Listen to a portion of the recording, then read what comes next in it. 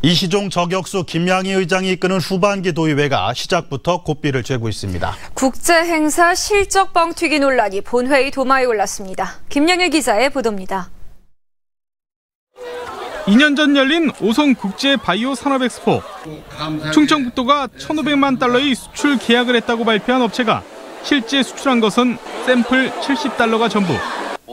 다음에 엑스포에서도 도내 업체들이 3,500만 달러의 수출 계약을 체결했다고 자랑했지만 실제 수출이 확인된 곳은 없습니다. 후반기 도의의 첫 대집행부 질문.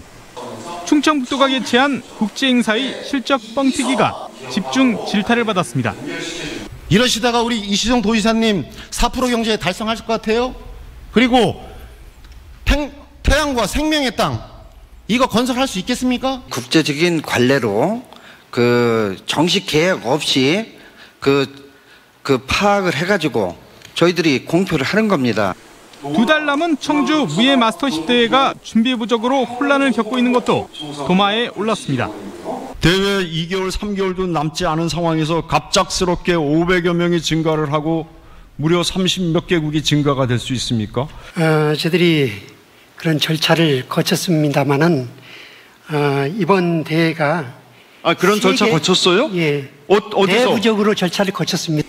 이시종 저격수로 이름을 떨쳤던 김양희 의장도 대집행부 질문이 끝날 때마다 집행부 견제에 나섰습니다.